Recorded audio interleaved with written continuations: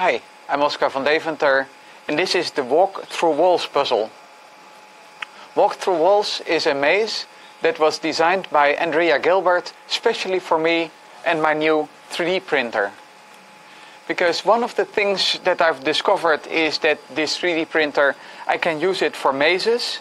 And one of the fun things that I've also discovered with the Andrea's maze is that you can have um, a walk on walls. That is, you can have a ball walk between walls, and at the other side, you can also have the uh, well. The, when you look at the other side, the walls become paths, and the paths become walls.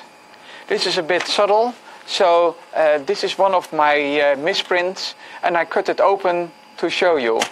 And when you look at the cross section, what you're seeing is that uh, here you have a hole where a ball can through, go through on one side and here at the other side. And it's the zigzag pattern that uh, makes sure that the uh, ball doesn't come out. So how does it work? Um, well, let's first find the ball. That's always very hard. But here you can see a tiny hole where there is the ball. I hope you can see it. Or let's look at the other side even hard to see. Here is the ball and I'll use the magnet to move it so I hope you can see it. And well, let's uh, move the ball a bit around. We can move it through the maze. Come on, move. And it's moving all the way. And the object of the puzzle is, well, we start with the ball on one side so it was walking through the walls and the exit position is here where there is a hole. And actually there are a lot of holes going through the walls.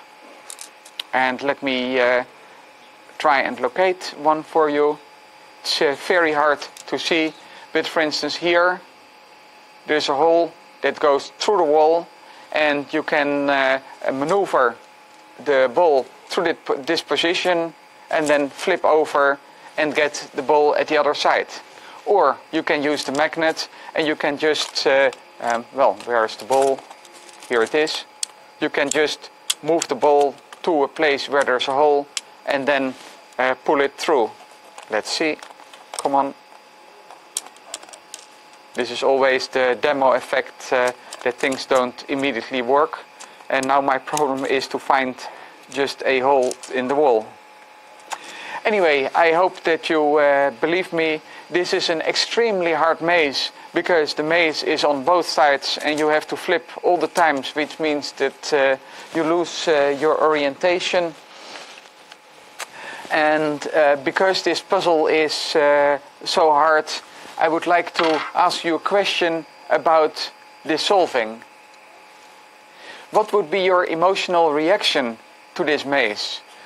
Do you like it because it's that hard, or would you feel extremely frustrated and not even try it? Thank you for watching.